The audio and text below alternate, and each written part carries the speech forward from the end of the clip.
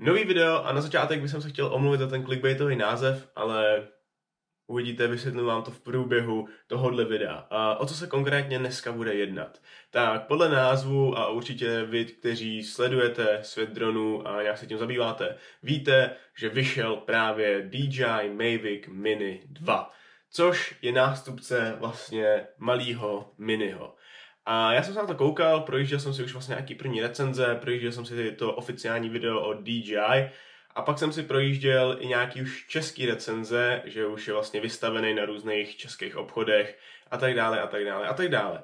A tam mě zarazila musím říct, že asi je naštvala jedna zásadní věc. Takže z toho důvodu ten název, pojďme se na teďka podívat na oficiální video od DJI, nějakému jakoby úvodu pro Mavic Mini 2. Eh, řeknu vám, co si o tom myslím a řeknu vám, jestli se vyplatí si pořídit právě tady tohle nového Mavica, jestli se vyplatí updateovat tady z tohohle Mavica Mini z té první generace. Tak jdeme na to.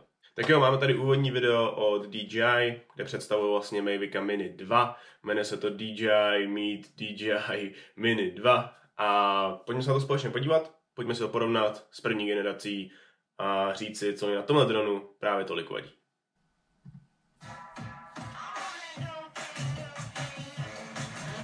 OK, hnedka na začátek budeme to stopovat poměrně rychle, vzhledem tomu, že je to minutový video. Eh, co se týče designu, jak se liší právě od Mavica Mini první generace, v podstatě nijak. Svým způsobem, co se týče designu, můžete si všimnout, že tady je eh, LED panel, který si můžete měnit i v aplikaci potom. Ehm, to je v podstatě, co se týče nějakého designu z těch větších změn, asi ta největší změna. Máte tady Mini 2 napsaný uh, foťák nebo gimbal je označený 4K, protože je to schopný natáčet ve 4K, což je novinka, k tomu se ještě dostaneme. Ale jinak v podstatě se to nijak neliší. Vzadu potom je konektor na USB-C a ne na micro USB. Ale co se týče designu, co se týče hmotnosti, zůstává to stejný. Ke všemu se ještě dostaneme. Let's go.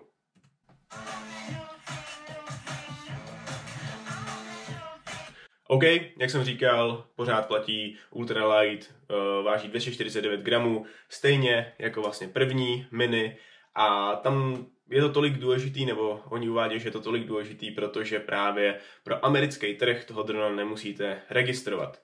Platí to pouze pro americký trh. U nás v Čechách, jakmile máte drona, který je schopný natáčet HD videa, tak ho musíte od nového roku teďka registrovat. Za chvilku bude probíhat registrace, když tak dole budete mít video o registraci dronu, nebo to nic složitýho. Každopádně tady tenhle velký boom neplatí nebo neplatí. Jo, ten dron je super, že je malý, že je lehký, jako vlastně ta první generace, ale budete ho stejně muset registrovat, takže to není zas taková výhoda. Jdem dál. OK, další velká novinka, nebo vlastně první velká novinka, váží úplně stejně, je 4K video. Určitě to je velkou výhodou. Musím říct, že doopravdy u takhle malého drona, když na něm 4K, předtím na první generaci je tam 2,7K, paráda, vyhovuje to, stačí to, ale v podstatě, když dostanete 4K ve 30 snímkách za vteřinu, je to velký posun. Takže určitě u Mavica Mini 2 4K beru jako z, jedno, z jeho největších posunů oproti té první generaci. Nevím, jestli tam bude záběr ještě na ten ovladač, každopádně Mini 2 dostal nový ovladač, podobně jako R2. Eh, jinými slovy, eh, DJI se zbavuje tady těchto původních ovladačů. Dává to smysl, nejsem velký zastánce tady těch ovladačů, vzhledem tomu, že ten mobil máte připnutý tady dole, takže neustále, když lítáte, musíte koukat dolů, do toho ty anténky musíte uh, vyndavat, štelovat, a není to úplně nejlepší ovladač. Takže moc fajn vidět, že právě Mini 2 dostane ten nový ovladač právě jako R2 a to je další vlastně krok dopředu. Mobil máte nahoře, anténky v podstatě jenom vytáhnete, takže ovladač za mě super. je zatím největší update 4K a ovladač. Jdem dál. OK, hnedka další 4x zoom. Nepovažuji to za nic úžasného. Protože ten zoom nebude zas tak dobrý a upřímně, kdo potřebuje zoomovat něco s dronem. Většinou s dronem zabíráte nějaký větší věci, uh, nějakou krajinu nebo něco podobného, nebo se s tím dronem jste schopný dostat relativně blízko k tomu objektu.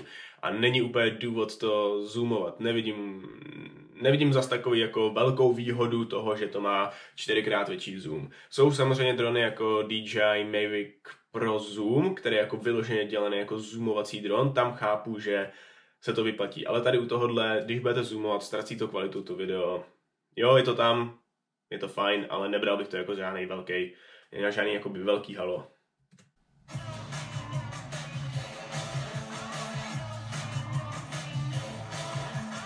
Dobře, další věc je level 5 windy uh, resistance. Jinými slovy je to nějaký level 5 odolnosti vůči větru. Když se teďka podíváte na velký obchody s elektronikou v Čechách, tak tam taky budou mít napsaný, že to level 5 prostě resistent vůči tomu, vůči tomu větru, jako větší odolnost vůči tomu větru.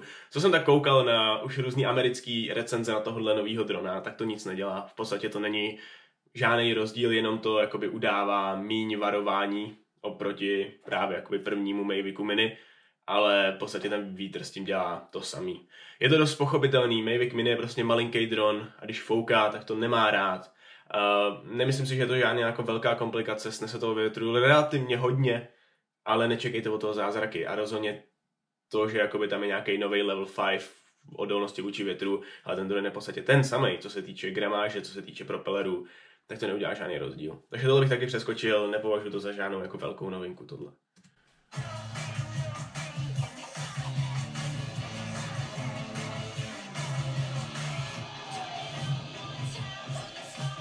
OK, 31 minut, uh, výdrž ve vzduchu, Mavic Mini měl kolem 25, něco takového. Jo, je to fajn, je to možná nějaký prodloužení, nebo si neměl 30, nevím.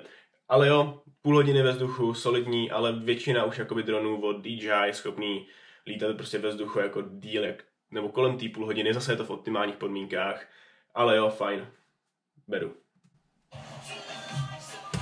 Tohle je ono, tohle je ten moment, proč vznikl název toho videa, proč vzniká tohle video a je to přesně tady z tohohle důvodu. A to je tenhle nový systém přenosu dat vlastně z dronu na ovladač. Protože tady tenhle původní ovladač na Mavic Mini je přes Wi-Fi. Vytváří Wi-Fi signál, Mavic Mini to přijímá. Tady tahle nová technologie, díky vlastně tomu novému ovladači, je lepší a měla mi mít dosah až 10 kilometrů. Jenže tady nastává ten základní problém a to je ten, že je to dělaný pro americký trh. Teď si to dobře zapamatujte, dobře to uložte do hlavy. Je to jeden z největších vlastně boomů teďka, proč ten Mavic Mini 2 je najednou jako, proč si lidi myslí, že bude tak skvělý dron. Já nespochybnuju, že to bude dobrý dron, ale tady tohle je prostě lež. Mavic Mini 2 sice bude schopný lítat takhle daleko, ale v Čechách a teď s novou registrací dronů a s novou legislativou pro drony po celé Evropě nikdy takhle daleko lítat nemůžete, protože je to omezený. To je strašně důležité. To je důvod toho názvu tohohle videa. Co jsem koukal na velký weby různých elektroprodejců po celý ČR, co jsem koukal už na nějaký první český videa prodejců dronů, tak nikde to tam nezmiňují. Všude právě třeba ty eh, weby udávají to, že to bude mít až dosah jakoby 10 kilometrů, ale nikde nezmiňují to, že je to vlastně omezený, že v Čechách to nikdy nevyužijete. Chápu, mohli by tohle jako zmiňovat úplně u každé věci, že 4K taky jenom za optimálních podmínek, výdrž baterie 31 minut taky optimální podmínky, Chápu to, jo, ale přijde mi to fair, aby to tam bylo prostě uvedený. Když se podíváte tady na to video, tak tady dole je to napsaný, takže oficiálně DJI to tam má napsaný, že vlastně máte uh, vždycky dodržovat ty daný zákony, ale že jakoby ten dron je schopný dolítnout až těch 10 kilometrů.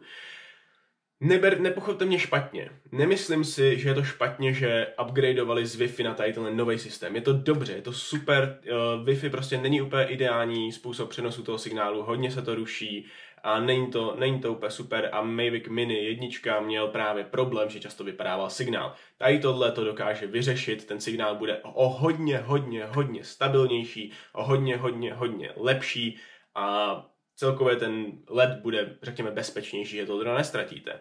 O tom nepochybu. O co mě šlo, bylo prostě to, že v Čechách a teďka v nově po celé Evropě to bude omezený, takže tady těch 10 km v životě nevyužijete.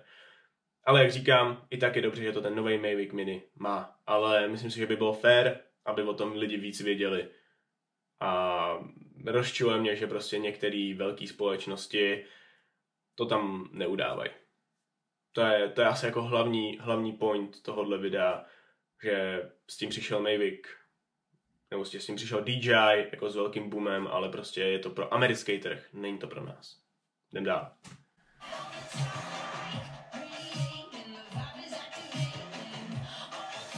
OK, klasický, klasický gimbal, který má jakýkoliv dron v podstatě. Dál.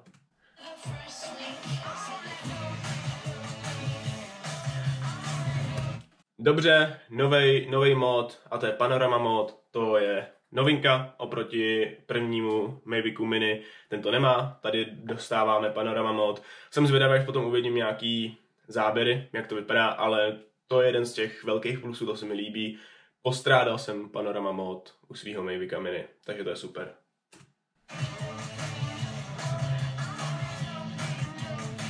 OK, uh, teď tam byl nějaký prosek na Quick Shots, Mavic Mini, první generace, má Quick Shots, tady budou další Quick Shots, jo, super, líbí se mi to. Uh, jenom taková věc, Mavic Mini, druhý generace, nemá žádný nový čidla, oproti tady tomuhle Mavicu, takže nečekejte, že vám to za sebe nějak usnadňovat ten let, není tam nic nového, co se týče nějakých jakoby čidel, ale, ale fajn.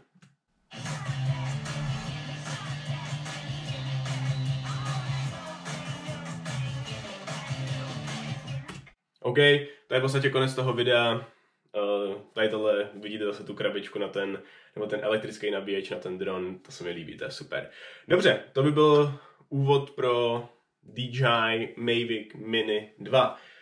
Pojďme si teda říct, co si o tomhle novém dronu myslím a jestli bych ho doporučil nebo ne. Vzhledem tomu, že teďka ten dron vyšel a zažívá velký halo, velký boom a myslím si, že hodně lidí bude zvažovat si ho koupit. Takže já dvě doporučení. Pokud už vlastníte Mavic Mini a byli jste předtím ty začátečníci, kteří si koupili, koupili Mavic Mini, tak nemá žádnou cenu, žádný smysl si kupovat Mavic Mini 2. Je to zbytečný. Ten dron bude stát o nějaký, řekněme, 3-4 tisíce víc než vlastně první generace, ale je to, je to, jsou to zbytečně v podstatě vyhozený peníze. Není tam nic zas tak úžasného, co byste nutně potřebovali a proč byste nutně potřebovali updateovat z Mavic Mini první generace na Mavic Mini druhé generace. Takže pokud jste tady jedni z těch, který máte prostě malýho miniho už teďka, nekupujte toho novýho. Pokud chcete pokračovat v lítání z dronech, kupte si nějaký vyšší modely, který vás potom budou bavit ještě víc. Ale pokud jste lidi, kteří chtějí začít lítat s dronem, jste začátečníci a rozhodujete se, jakýho si drona koupit, tak samozřejmě doporučuji novýho Mavica Mini druhé generace, jak jsem říkal, bude stát asi o 3000 víc.